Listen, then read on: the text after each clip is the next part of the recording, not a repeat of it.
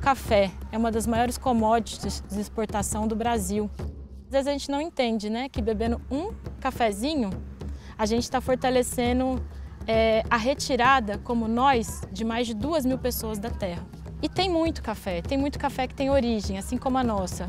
Quando a gente empacota o nosso famoso café Guaí, nossa, sai daqui uma bebida boa, uma bebida justa, livre de exploração, que gera saúde para quem trabalha, saúde para quem consome, mas que também que vai um pouquinho da nossa história, né? De luta pela terra, para onde quer que esse café ande.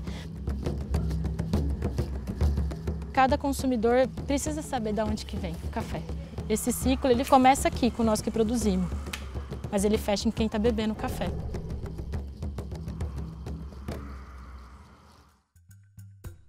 Sou Tuíra Tule, eu estou aqui no Quilombo Campo Grande. Né? Desde as primeiras ocupações, esse território é uma antiga é, usina que produzia açúcar e cana. Essa usina ela abriu falência e abandonou né? a terra, já muito degradada, e também os trabalhadores. Com os trabalhadores que não receberam seus direitos, que a gente começou as primeiras ocupações nesse grande latifúndio que era a antiga usina Aradinópolis. Hoje somos 459 famílias, somos mais de 2 mil pessoas. Nesses 24 anos que a gente está aqui em luta, né, nós ainda de fato não conseguimos conquistar essa terra. A gente já passou por 11 despejos, ainda corremos risco de sermos tirados daqui.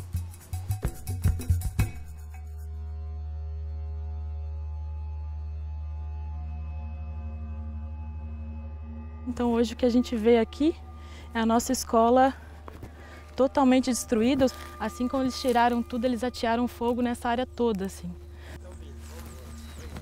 Eu acho que essa parte nós vamos ter que fazer ali, porque realmente eles estão ali no já o cara da fazenda está aqui. Ele ameaça a nossa vida, ele ameaça a gente de morte, ele coloca jagunço aqui nessa terra.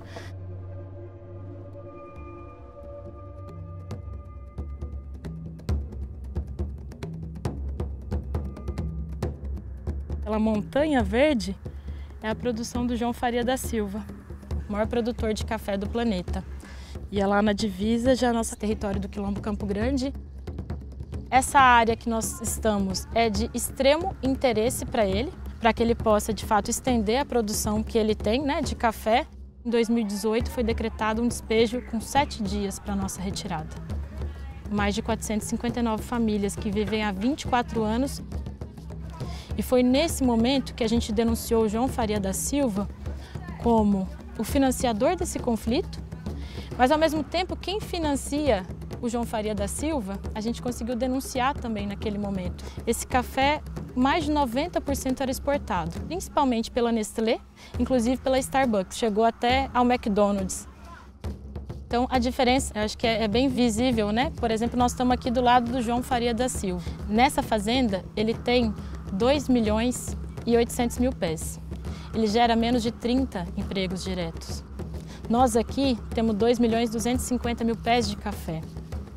E esse café, ele gera renda e vida digna para mais de 300 famílias, para mais de 1.500 pessoas. A diferença do nosso café, que é um café que compartilha a terra, que compartilha os bens comuns da natureza. É um café que gera renda para as famílias diretamente. Esse café, ele rompe com a lógica do agronegócio, de envenenar o solo, de envenenar a terra, de envenenar a água, de envenenar quem produz e quem consome. Já estamos com mais de 27 famílias certificadas orgânicas, temos experiência com os cafés agroflorestais e vemos avançando nesse sentido de construir uma outra lógica, de produção do nosso café, que gera saúde para quem trabalha, saúde para quem consome e um preço que seja popular.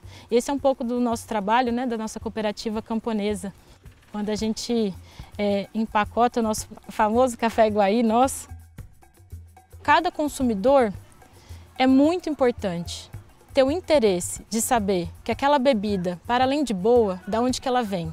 Se ela está gerando de fato vida boa para quem está trabalhando, vida boa para quem está fazendo parte desse processo de, de organização da produção.